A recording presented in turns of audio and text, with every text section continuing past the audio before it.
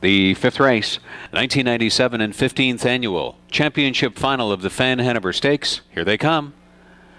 They're off and pacing. Sanibel Island watching her in the center of the track, and she is making a determined bid for the lead. Sanibel Island going on. Artistic Pleasure came out with her. Lin Chu at the inside in the top three. Eyes of an Angel is fourth. Keep your pants off to the outside is fifth. When You Wish Upon a Star, tucking in tight quarters to be in sixth. Art in the Park is seventh at the wheel of Paling Avenue. And then the last pair, Cohiba Mary and Juice Box was trailing. Artistic Pleasure carries Sanibel Island into the first turn. 26 six and three. Steve Warrington is hustling Sanibel Island up front.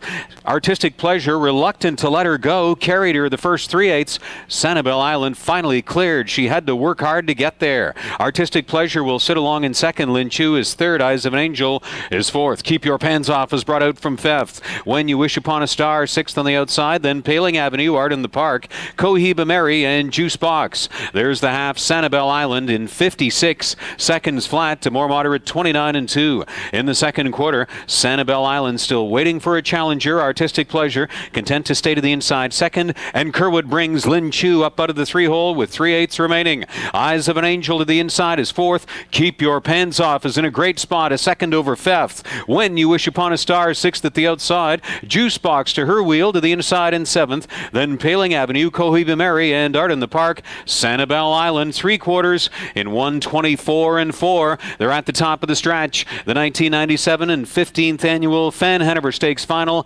Sanibel Island on the lead since just past the quarter. Lin Chu was first over. Artistic Pleasure on the inside is third. Paling Avenue to the extreme outside. Then Eyes of an Angel dives to the inside. Artistic Pleasure is coming out in a tight spot in deep stretch. Paling Avenue driving hard. Artistic Pleasure trying to hold off Paling Avenue. 152 and 4. Right there, third was Sanibel Island.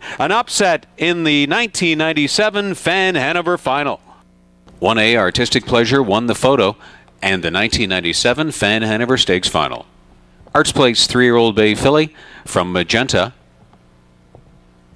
Homebred of Bob McIntosh Stables and Al McIntosh Holdings of Windsor and Leamington and Cape Mitchell Stables. Bob McIntosh trains Bill Gale for the winning drive, her second in 13 this year, lifetime best, 152 and 4 Artistic Pleasure wins the Fan Hanover Stakes. Making the winner's enclosure presentation, the owner of this series and stakes namesake, Fan Hanover, Dr. J. Glenn Brown, who 16 years ago became the filly to win the Little Brown Jug. Also assisting in the winner's enclosure is Sharon Caddy from CFTO Channel 9 Weather.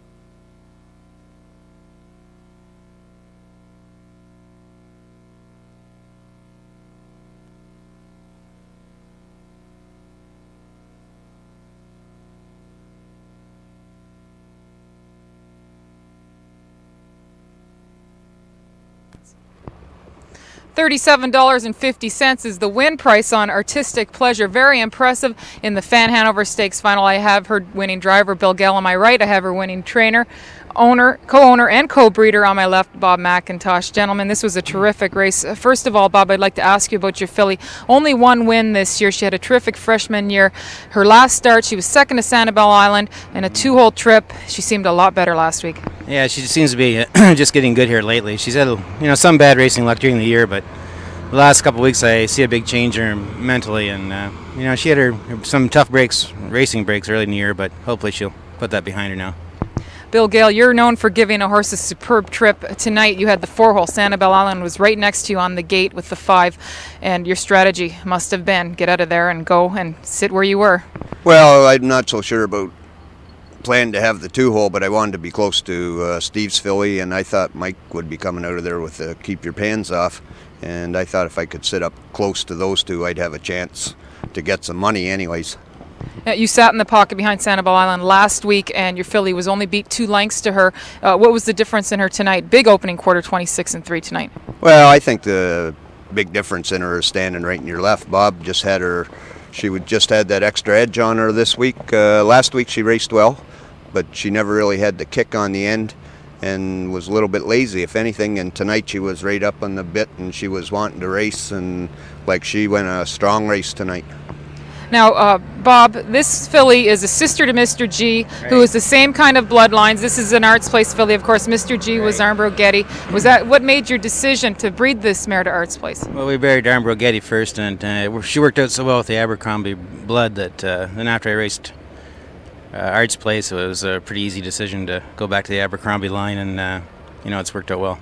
We're going to have a chance to watch the stretch drive, gentlemen, so Bill can get a little bit closer look because he didn't see it uh, the way we did. Here they are turning for home, Bill, and at this point, the horse on the outside seems to be tearing a bit, but you always have to worry whether you're going to get out.